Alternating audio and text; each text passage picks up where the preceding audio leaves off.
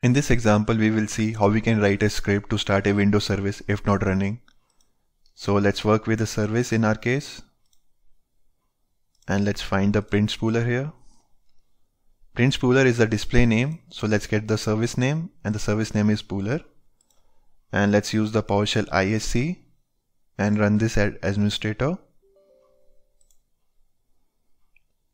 Okay, the very first step in the script will be to get the service name from the user and to get the input from the user we will take help of read host commandlet and whatever the service name the user will enter let's store that in a variable. So let's say service input is equal to read host. To get the input from the user and let's print the message on the console that please enter the service name.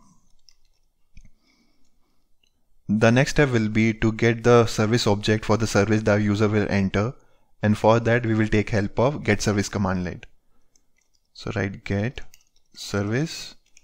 And we have to mention the service for which we need the service object. And that is stored inside our service input variable. So let's give that. And let's store the result in the variable as well. So let's say service info. Okay now we have to check whether the service is running or not. So for that we will use the if condition if and we have the service object. So let's use that. If the service dot status status is the property that will tell us whether the service is running or not. So is not equal to any stands for not equal to running. Bracket close curly braces open curly braces close. In that case write on the console that service is not started and starting the service. Okay? And the next step will be to start our service. Here if the status is not equal to running then in that case it will come inside. That means our service is stopped so let's start the service and for that we will take help of start service command line. So write start service. The start service command line will start the service. So we need to mention the service name. So mention our name that is inside the service input variable. So let's use that. Okay. Now our service will be started after that we have to update the service object to get the new information. And let's how we can do that? So let's use the service object and let's use the refresh method here. The refresh method here will refresh the service object to reflect the new state. So let's write on the console. And now let's write the status of the service and we can use service info object here. Dot status again.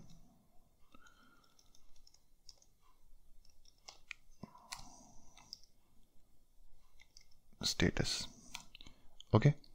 And let's also use the else keyword here. And inside that we will print write host. The service is already running okay so let's execute the script. And here it is asking please enter the service name. And the service name in our case is spooler and right now it is running. You can see the service status it is running. So let's verify. So mention spooler here. And you can see the service is running has been printed on the console. Now let's try to stop the service and let's see whether it will start the service or not. So come here and stop. And let's see the status now. It is stopped now. So let's come here and execute the script again. And let's give spooler and hit enter. It has printed that service is not started, starting the service and it has written the status running. So that means our service should be running now. So we can come here and verify refresh this and double click and you can see the service status that is running. So this is a small script where we can start a service if not running.